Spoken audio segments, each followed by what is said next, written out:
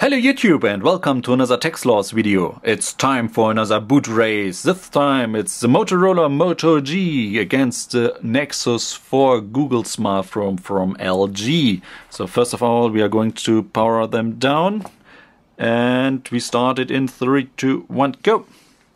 And who will be the first to be without any power? And the Moto G is really fast here, definitely our our winner here.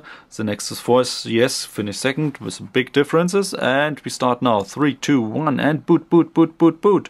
We got light and we got vibration and the Google logo. This is nice, reading Motorola, Google company, and next to it just Google.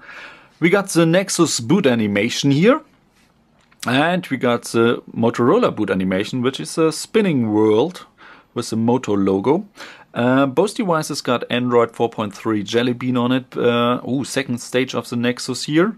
And count on end, Nexus 4 finished first and Nexus uh, Moto G is second here. Both devices are already connected to the Wi-Fi network and to the mobile network. Um, we got both devices got quad core. We got an S4 Pro and a Snapdragon S400 here. We got two gigabytes of RAM, one gigabyte of RAM, and both devices got the exact same apps on them and running. So clear winner. Booting up Nexus 4, uh, shutting down Moto G. Thank you guys for watching and I see you in the next video. Bye!